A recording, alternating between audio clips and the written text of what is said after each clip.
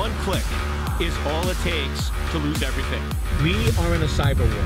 You can either be a defendant or you could be a victim. Google has some apps that are meant for children that are actually giving away your children's personal information.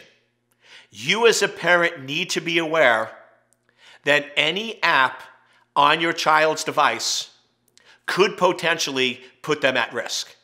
And we need to do a better job of checking, verifying, and validating what our children are doing online. Now, now let me just be clear here. I am not letting Google off the hook. I'm not saying what Google did was okay. The government is stepping in. The FTC is looking into it. If they truly did things wrong, there will be fines and there will be some penalties there because with anything dealing with children, there are strict laws on what can or cannot be done. So, one area that Congress has actually done a really good job with is protecting our children from these apps. Now, protecting us is a different story, right? Marriott can put 500 million records at risk and they don't care. But if our children are put at risk, which I think is important, then there are some laws in place that the FTC does enforce. So the good news is there is some action being taken there. But the point I want to make is this we have to protect our children. We can't just assume that because an app comes from Google and says it's safe, because an app comes from Google and says, oh, this is good for your children, we shouldn't blindly believe them.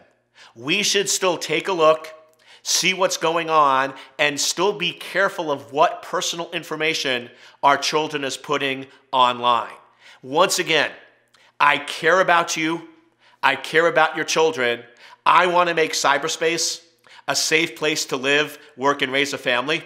But that means we have to do a better job engaging and accepting responsibility for our cybersecurity. Unfortunately, these things are going to happen. Now, yes, in a perfect world, I wish it didn't happen. I wish Google would have checked, caught, verified, and validated, and that didn't occur. But ultimately, we have to look at our children's device at least once a week, look at what apps they're playing, and just watch, monitor, and engage with our children. Here's the interesting thing most of us talk to our children about don't talking to strangers. My kids know that if a stranger comes up to you and offers you candy, run, right? Don't talk to strangers, don't get in cars with strangers. All that stuff we have ingrained in our children's heads. But when was the last time you talked to them about cybersecurity? When was the last time you talked to them that if a pop up message appears, don't put in your name and age? Don't put in your address. Don't put in any sensitive data.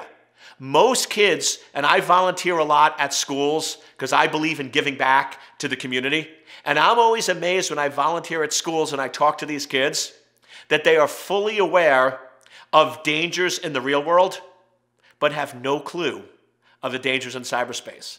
I actually had one 12 year old told me, Oh, Dr. Cole, if the app is allowed to be downloaded on my device, Apple and Google check and verify, it's always secure.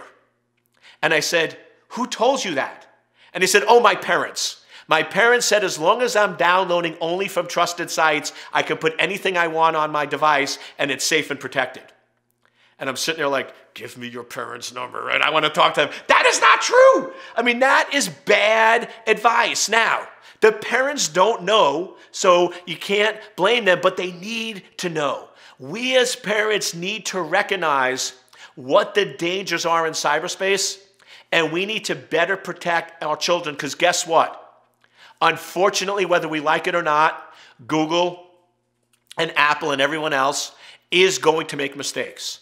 They are going to release apps that they shouldn't, and we need to better protect our children. So here's what you need to do once a week, when your child is on their device, you need to spend at least 10 minutes watching what they're doing. Just watching over their shoulder, looking at how they behave, because that's the best way of monitoring. And if messages pop up or things occur, say, oh, don't click on that, don't do that, don't do this.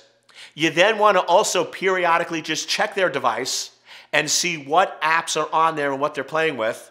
And then finally, you want to go in and talk to your children about cybersecurity. They need to know that just because somebody says there's a 12 year old girl or boy online, they might not be.